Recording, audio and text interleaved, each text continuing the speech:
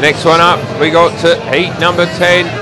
After this, we were, we'd had half of the qualifying races. Of course, Matty Kuss comes out off gate number one, two points. They came in his last ride. Cole Newman is off two. He's on three.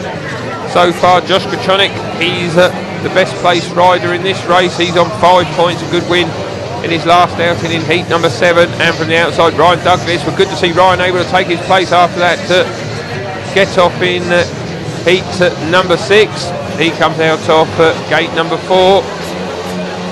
Grajczonek probably starter's favourite for this one off of uh, gate number three as they come out of the start but it is Matty Kuss who's uh, made a good start and he leads the way from uh, in second place. Uh, Ryan Douglas has come through in the second place. Douglas having a good ride here. It's very tight indeed between all four riders. Grajczonek's in third, Newman at the back.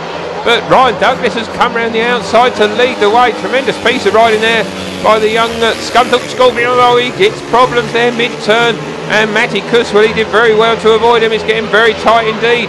As uh, Grajczonek, well, he's trying to come through into third place. Cole Newman is there as well. Teammates last year for Somerset, but rivals here this evening. Both riding for new clubs this year, of course. And Newman has got through into third place. Grajczonek, the top rider in this race, points-wise. Before it started, he's going to finish at the back, it seems, in this one. Ryan Douglas hasn't scored a point in his first two outings. It looks like he's going to take a victory.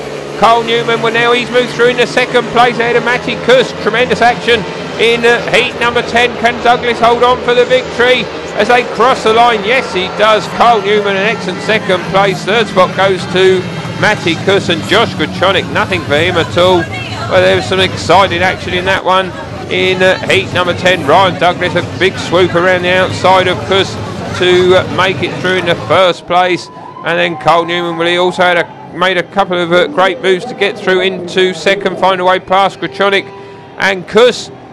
Three points for Ryan Douglas. He opens his accounts in heat number 10, a cracking race.